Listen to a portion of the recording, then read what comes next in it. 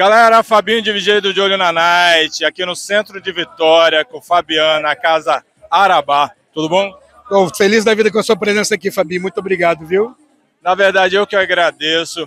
É, hoje é um dia de grande homenagem à galera que cobre o Carnaval Capixaba, à imprensa que cobre o Carnaval Capixaba todo ano. E de onde que veio essa iniciativa? Então a ideia é a gente estar tá homenageando as pessoas que fazem a produção do carnaval.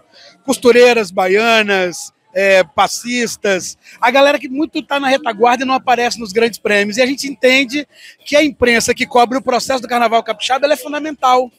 Em boa parte dessa imprensa, ela faz por uma vontade própria, por um desejo, sem financiamento, o que é muito ruim, porque tinha que ser financiado pelo trabalho que vocês realizam. Então a Casa Arabá se sente honrada em receber vocês e aí quer homenagear e por isso agradece a presença de vocês. Entendeu? Bom, a gente que agradece esse espaço. É tão difícil, né? Principalmente a galera que fica nos bastidores ali é árduo, porque principalmente o carnaval é marginalizado até hoje de certa forma, é difícil até para as escolas conseguirem um certo patrocínio. Imagine para a gente que cobra o carnaval, mas muitíssimo obrigado, querido.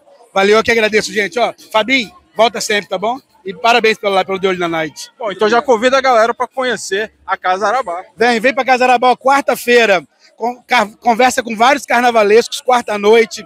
Todos os primeiros sábados de mês a gente tem aqui um samba em homenagem a algum setor do carnaval. E aqui é uma casa que respira o carnaval capixaba. E também faz diálogo com outros carnavais. Rondônia, Porto Alegre, carnavais mais periféricos que a gente gosta de conversar, tá bom? É isso aí. É isso aí, lembre-se, estamos de olho.